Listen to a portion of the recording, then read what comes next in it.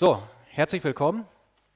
Ich möchte heute mein Projekt vorstellen. Ich habe versucht, aus Standardkomponenten einen kompletten SDR-Transceiver zu bauen. Äh, kurz zur Vorstellung. Mein Name ist Christian Dinders, ich bin 45 Jahre alt, äh, seit 1988 lizenziert mit dem Rufzeichen Delta Golf 8 Delta Papa, beruflich als HF-Entwickler und technischer Projektleiter tätig. Interessen im Amateurfunk, na klar, Entwicklung, Lötkolben schon mit 14 Jahren in der Hand gehabt und äh, Selbstbau, Endstufen sind mit Sicherheit jemandem bekannt. Äh, zuletzt eine L-Demos-Endstufe entwickelt. Und wenn ich dann nochmal Zeit finde und den Lötkolben aus der Hand lege, dann auch gerne mal DX und Contest. Kommt leider zu wenig vor. Ja, SDR-Transceiver. Mich hat jemand aus meinem LDMOS-Forum auf die Idee gebracht, probier doch mal so ein Hermes-Board aus, das äh, wird dir gefallen, das ist toll und das hat ja so viele Möglichkeiten. Und ich habe gesagt, also mit dem Computerfunken ist absolut nicht meins. Ähm, mir fehlt dieses Look and Feel. Ich brauche ein VFO-Rad, wo ich dran drehen kann. Ich brauche ein äh, Lautstärkeregler, äh, ich will mal auf den Auto-Notch drücken. Ähm, das mit dem Computerfunken hat mir so ein bisschen Bauchschmerzen bereitet. Ich habe mir dann spaßeshalber mal eine Hermes-Platine bestellt, Probeaufbau gemacht, habe gedacht, ja, hört sich gegenüber meinem FTDX 3000, der ja auch nicht schlecht ist, doch schon besser an. Ähm, habe da ein bisschen mit rumgespielt und habe mir gedacht, äh, daraus kann man mal was bauen. Ähm, ja, und da ist mir, wie gesagt, auch dieses Hermes-Board, was, glaube ich, viele aus dem anderen 10 kennen, äh, in die Hände gefallen.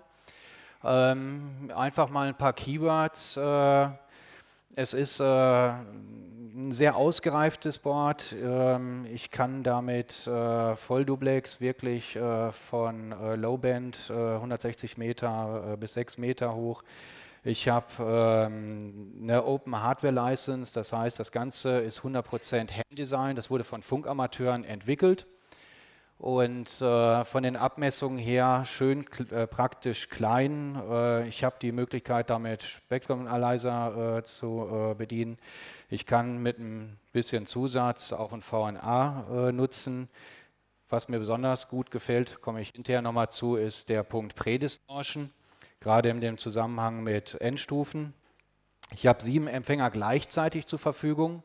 Ähm, das macht mir beim äh, DX unheimlich Spaß, weil ich kann dann wirklich mehrere Bänder gleichzeitig, äh, oh jetzt noch ein Aussetzer, äh, mehrere Bänder gleichzeitig abbilden und habe also so wirklich einen Überblick, wie sind die Konditionen gerade auf welchem Band. Äh, steigt äh, die DX-Wahrscheinlichkeit auf den höheren Bändern oder nicht? QSK-fähig, äh, Anschlüsse ähm, sind alle vorhanden, was man braucht. Ähm, Techni äh, ein äh, durchgehender Empfang von 10 kHz bis 62 MHz. Ähm, das deckt alle Amateurfunkbänder ab, äh, die wir da benutzen wollen. Ausgangsleistung äh, liegt bei 500 Milliwatt, 350 Milliwatt auf 6 Meter. Das reicht aus, äh, um eine kleine Treiber-PA noch zu betreiben und dann auch große Endstufen.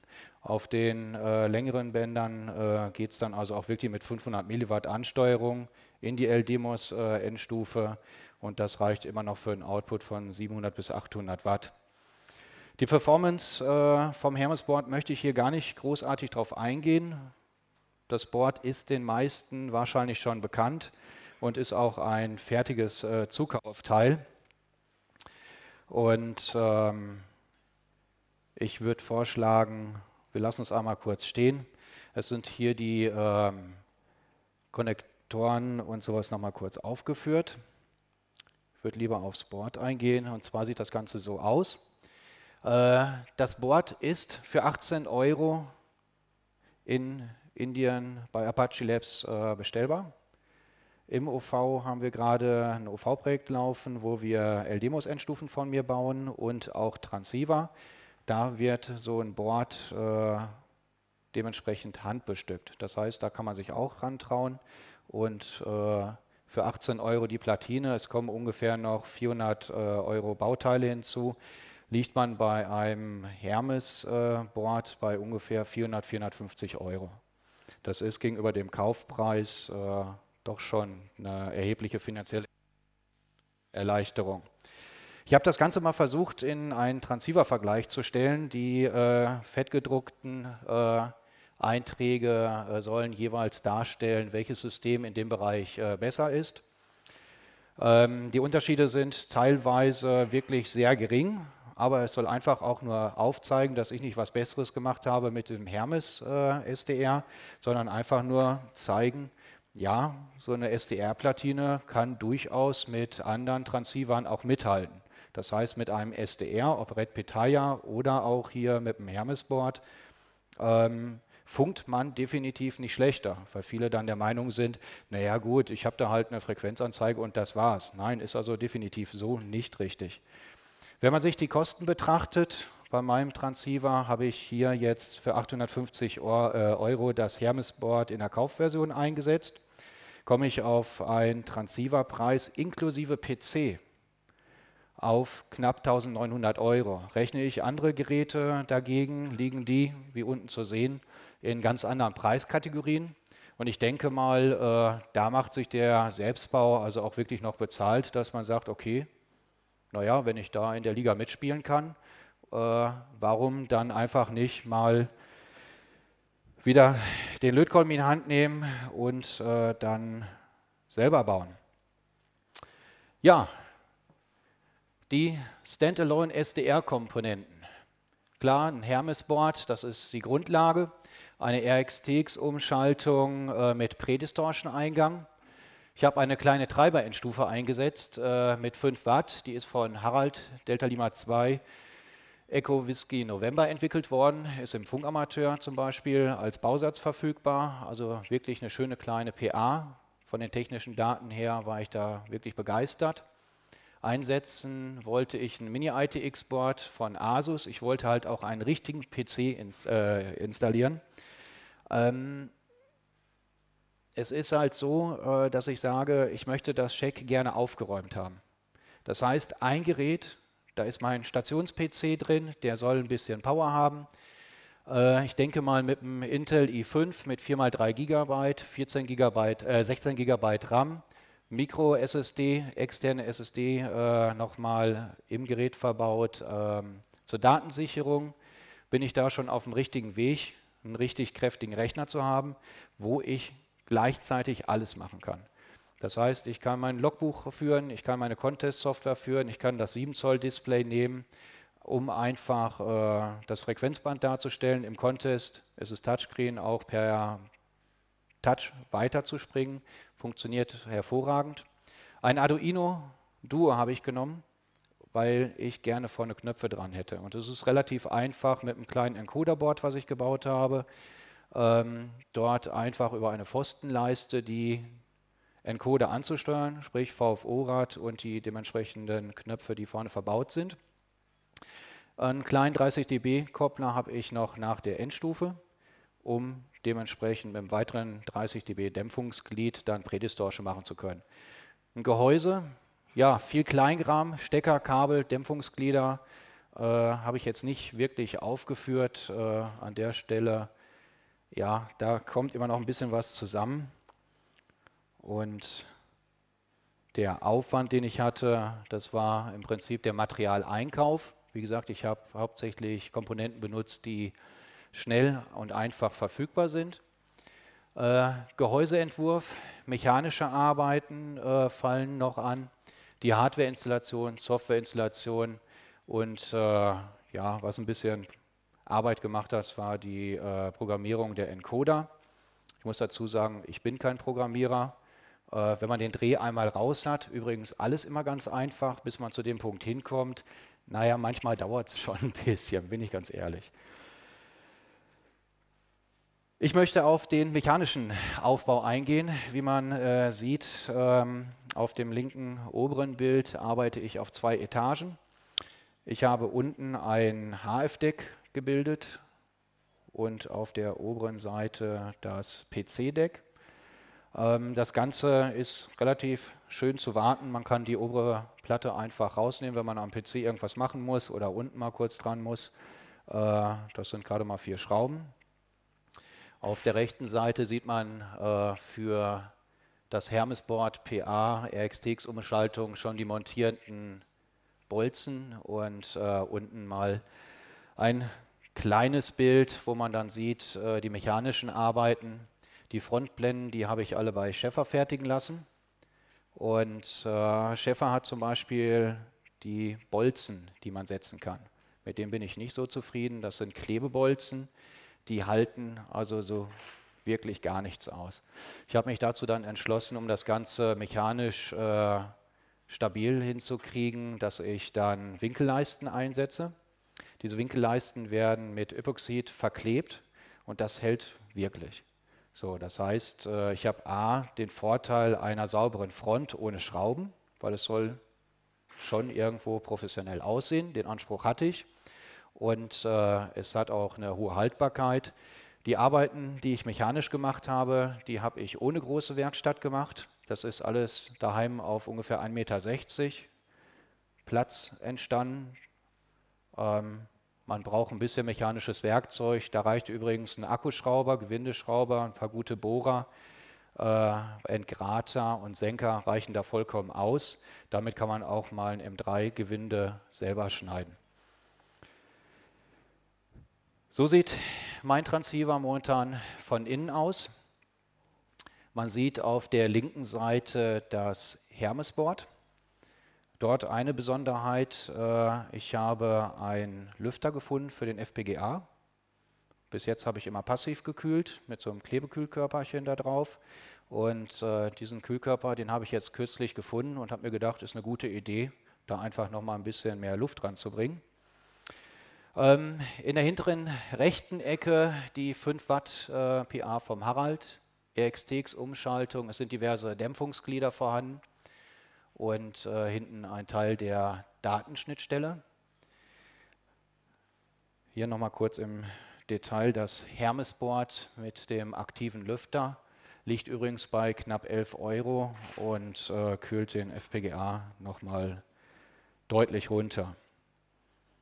Wie ich gesagt habe, viel Wert gelegt habe ich auf den PC, weil ich nicht noch einen zweiten PC daneben stellen wollte, weil der interne gerade mal dafür da ist, äh, irgendwas anzuzeigen, sondern es soll wirklich ein Arbeitsrechner sein, an dem ich meine Bildbearbeitung äh, machen kann, an dem ich äh, meine Entwicklung mit Target machen kann und wirklich komplett abgedeckt habe für die Bedürfnisse, die ich daheim brauche. Man sieht auf der rechten hinteren Seite die äh, kleine Encoder-Platine. Äh, dort ist noch ein IC zu sehen, das heißt, äh, da kann man je nach äh, Möglichkeit, die man nutzen möchte, vom Hermes zum Beispiel auch BCD-Signale ausgeben und dann hinterher Filter schalten für Eingangsfilter. Ähm, man sieht vorne links die Samsung SSD, die nehme ich zur Datensicherung der kleinen Micro-SSD. Das heißt, bei einem Systemabsturz muss ich nicht erst großartig äh, mich wieder hinsetzen, komplettes System installieren, sondern ich gehe wirklich nur noch bei und äh, spiele ein Backup zurück, dauert ungefähr 15 Minuten, dann bin ich wieder QRV. Die zwei anderen Platinen gehören zum äh, Display. Den Display-Controller sieht man vorne neben dem VFO-Encoder. Ja, wie gesagt, Backpanel. Wichtig war, dass ich natürlich alle Anschlüsse habe, die ein normales Funkgerät auch hat. Das heißt, Speaker, den, äh, die Morse-Taste, Headset, Mikrofon, PTT ist ganz klar. Predistortion-Eingang habe ich schon erwähnt. Da kommt das äh, um 30 dB geschwächte Signal an. Intern haben wir noch ein 30 dB äh, Dämpfungsglied gesehen und geht dann auf den Eingang des Hermes-Boards. VHF-Buchse momentan nicht belegt und HF-Buchse ist dann von 160 bis 6 Meter nutzbar. Auf der oberen Reihe sehen wir LAN, HDMI. Das sind die Anschlüsse, die im Prinzip auf das Hermes-Board gehen. Das heißt, wenn mal irgendwas schief läuft, ich kann auch ein Notebook oder einen zweiten PC anschließen, einfach nur an der LAN-Schnittstelle eben abgreifen und äh, dann kann ich auch ein anderes Gerät anschließen, nur für den Worst Case. HDMI geht, äh, geht, vorne aufs Display und bildet eine Brücke vom Asus-PC. Damit habe ich die DVI-Schnittstelle frei. Das gibt mir jetzt natürlich die Möglichkeit, intern 7 Zoll zu nutzen mit dem Touchscreen und extern einen ganz normalen äh, Monitor anzuschließen und dementsprechend dort ja, Contest-Programm und was immer nutzen zu können. Der Vorteil ist unter anderem, ich brauche keine großen Kabel mehr, ich brauche keine Kabel ziehen. Ich nehme virtuelle Audiokabel und äh, das Ganze ist dann schon sehr aufgeräumt. Die VRF-Buchse, die ist schon dran, weil Hermes, das äh, Hermes-Board äh, wird es jetzt von Apache Labs so nicht mehr geben, Platinen ja, es wird aber nicht mehr vertrieben.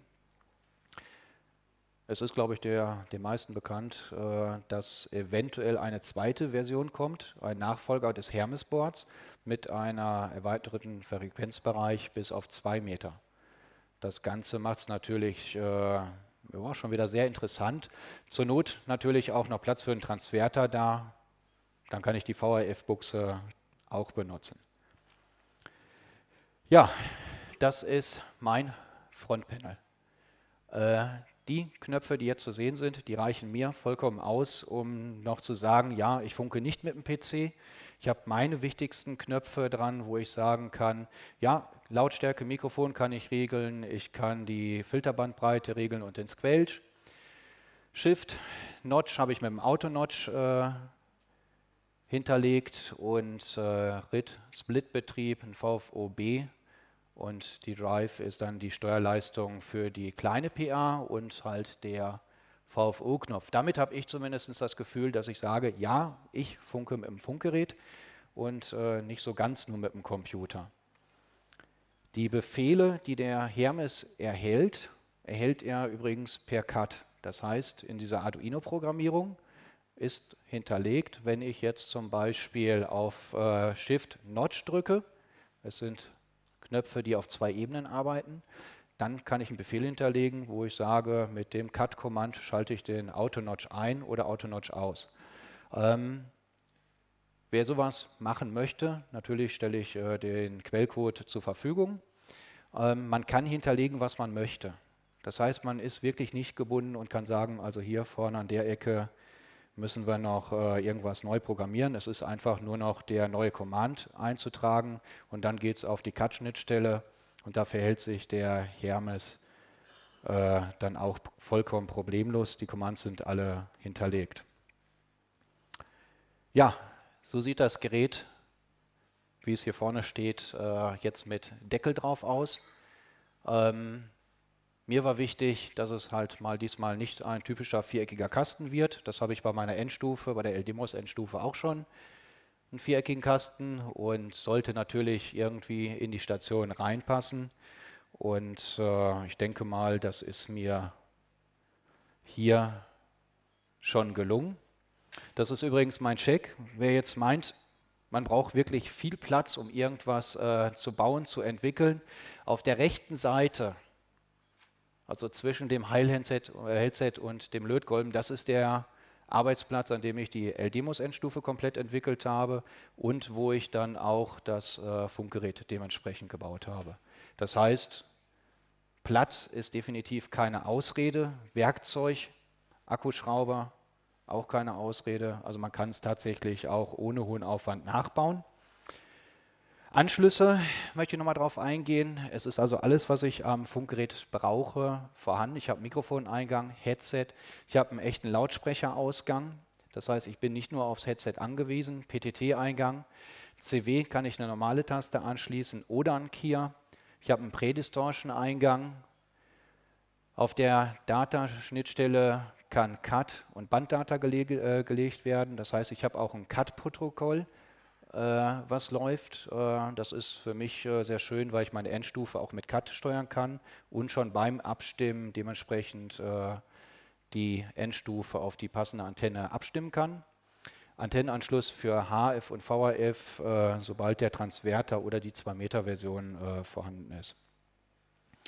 Die Bedienelemente waren meiner Meinung nach äh, erstmal K.O.-Kriterium definitiv. Ich brauche ein VFO-Rad.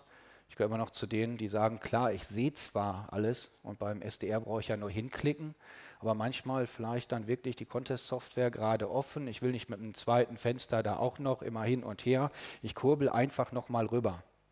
Also für mich äh, wirklich wichtig. Und dann halt äh, die wichtigen Funktionen für mich, Lautstärkeregelung, Filterbandbreite, ERX-Shift, VFOB und die RIT. In der Nebenfunktion die Mikrofonverstärkung, die man nicht ganz so häufig äh, anpasst. Äh, Squelch, automatisches Notch-Filter habe ich hinterlegt, Split-Funktion und die Ausgangsleistung kann darüber geregelt werden. Mit ungefähr zweieinhalb Watt Übrigens nutze ich genauso äh, wie das Projekt Charlie 25 Power SDR, allerdings in einer unveränderten äh, äh, Originalversion und ähm, habe dort äh, mal nachgemessen, äh, wie gut, jetzt sehe ich meine eigene Schrift nicht, Entschuldigung, von der Seite etwas schwierig. Ähm, ich habe mal nachgemessen, mit zweieinhalb Watt äh, Treiberleistung komme ich auf ein IMD 3 von 39 äh, dB bzw. 45 dB PEP. Ist an für sich schon äh, ganz ordentlich und jetzt wollte ich einmal zeigen, wie das Ganze dann aussieht äh, mit äh, Predistortion. Ich erreiche dort 70 äh, dB PEP und damit speise ich dann zum Beispiel meine Endstufe, beziehungsweise bei der Endstufe messe ich natürlich äh, auf der Ausgangsseite. Messfunktion, habe ich äh, gesagt, gibt es auch. Es gibt eine Software, um den VNA äh, nutzen zu können. Das heißt, ich kann also nicht nur mir das Spektrum äh, betrachten, ich kann also auch äh, mit einem sehr geringen Hardwareaufwand äh, mir auch einen kleinen VNA herzaubern und äh, kann dort messen. Ich mache es daheim nicht. Ich habe einen VNWA 3 äh, als externes Gerät, weil ich da einfach andere Voraussetzungen habe, wo ich messen möchte. Ja, die Nutzung als Stations-PC. Ein Support für einen zweiten Monitor, natürlich wichtig, weil auf dem kleinen Display, ja, man kann was damit machen, man sieht auch was drauf, es ist auch schön. Äh, aber ich denke mal, im Contest-Betrieb, schöner großer Monitor, alles schön übersichtlich, äh, sollte schon drin sein. Es läuft wie gesagt, es ist ein i5 mit 4x3 GHz, wirklich jede Software. Ich habe bei mir laufen Helm Office, Helm Radio Deluxe. Wissband tue ich unheimlich gerne, allerdings dann natürlich mit kleiner Leistung. Fares läuft mit, der Skimmer läuft mit, Windtest, X-Class, das ist alles da. Ja, virtuelle Audiokabel, das heißt audiomäßig alles aufgeräumt, Komport-Splitter, das heißt, ich kann alle äh, Software, die ich habe, untereinander verbinden über virtuelle Comports. Es läuft alles gleichzeitig und parallel. WLAN, externe Geräte können angeschlossen werden über die USB-Schnittstellen. Ich habe zum Beispiel noch einen 70 cm DMR Hotspot laufen, einen DV4 Mini. Äh, Network Analyzer vom äh, VNWA3E ist dort dran und die Datensicherung. Und das sind halt die Vorteile, die ich daraus erkannt habe. Das ist einfach in der Bedienbarkeit und in der Flexibilität. Ähm, Transverter Support 2 Meter Version ist geplant. Ähm, wie gesagt, ich bin da auch sehr neugierig drauf, ob das Hermes-Projekt als Open Hardware-Projekt äh, weitergeht. Das wäre wirklich wünschenswert. Ein günstiges Preis-Leistungs-Verhältnis finde ich schon. Im Selbstbau knapp 1500 Euro und ähm, da würde ich sagen, selbst wenn es mal ein bisschen jetzt teurer wird, 50 äh, oder 100 Euro, ist das etwas für die Performance, was sich immer noch lohnt. Und vor allen Dingen dadurch, dass man äh, das Ganze in Baugruppen äh, kaufen kann, hat man auch einen sehr schnellen Erfolg, dass man sich wirklich hinsetzen kann und innerhalb von einer Woche durchaus mit dem passenden Material äh, den Transceiver zusammengebaut hat. Ich wollte noch mal einmal ganz kurz darauf eingehen, ich mache auch etwas mit SDR im beruflichen Umfeld. Und zwar äh, haben wir ein Produkt entwickelt, bei dem ich auch beteiligt bin als technischer Projektleiter, nennt sich LiveSeeker. Und man kann mit vier SDR-Platinen dort auch Leben retten. Das heißt, das Ganze äh, funktioniert äh, so, dass man über ein Antennenarray die Phasenlage des Eingangssignals äh, feststellt. Das ganze System wird in einem Helikopter verbaut und damit können wir in weniger dicht besiedelten Be äh, Gebieten oder wo wirklich kein Empfang ist, noch Handys orten. Das heißt, wir sind eine fliegende SBTS, das heißt eine Basisstation. Wir haben dafür auch eine Zulassung und können somit Menschenleben retten. Das heißt, in den Bergen Bergsteiger, Skifahrer, wir können auch Signale zwei Meter unterm Schnee orten. Und es reicht wirklich, wenn jemand das Handy anhat. Er muss es nicht bedienen können. Es ist vollkommen irrelevant, in welchem Zustand der Verletzte ist. Aktiv muss er nichts machen. Die Peilgenauigkeit dabei übrigens 50, 60 Meter. Bis jetzt die Systeme, die eingesetzt werden, ist eine Infrarotkamera von FLIR die FLIRCam. Das ist sehr aufwendig und dauert mehrere Stunden, nur ein Stück abzusuchen. Hier haben wir HF-Signale und das können wir zum Beispiel im Amateurfunk auch nutzen, äh, dass man sagt, also mit mehreren SDR-Transceivern, wie kann ich da zum Beispiel eine Standortbestimmung äh, machen. Wollte nur mal zeigen, dass sowas halt auch im beruflichen Umfeld äh, genutzt wird. Hier mal kurz als letzte Folie dann auch die Bilder dazu. Oben links sieht man den äh, SDR-Receiver und Transceiver, äh, DO spezifiziert. Übrigens unten links, das ist ein EC 135, mit dem fliege ich ab und zu übers Ebersberger Forst für Versuche. Und oben rechts, das ist äh, ein Kundenhelikopter der Schweizer Armee, die ein System von uns am Laufen haben und damit also schon durch die Gegend fliegen.